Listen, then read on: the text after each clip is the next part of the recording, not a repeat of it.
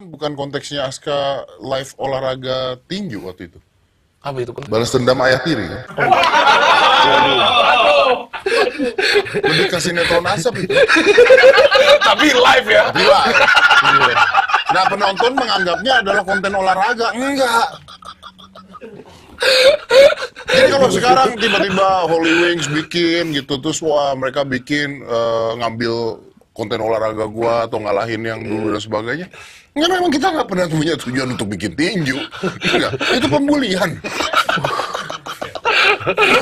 Rajin. iya sih. Iya kan? Iya sih, tapi kan gua ngomongin bisnisnya, bukan Nah, itu rasa. bisnis yang luar biasa. Eh, itu bisnis luar biasa. Cara di mana anaknya mukulin ayah tirinya,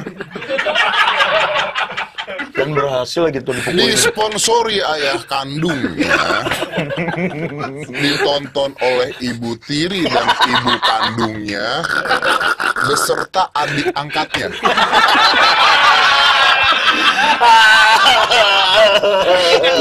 Ada. Sinetron Azab Indosiar juga kalah. Di dunia yang lakuin cuma Deddy Corbuzier.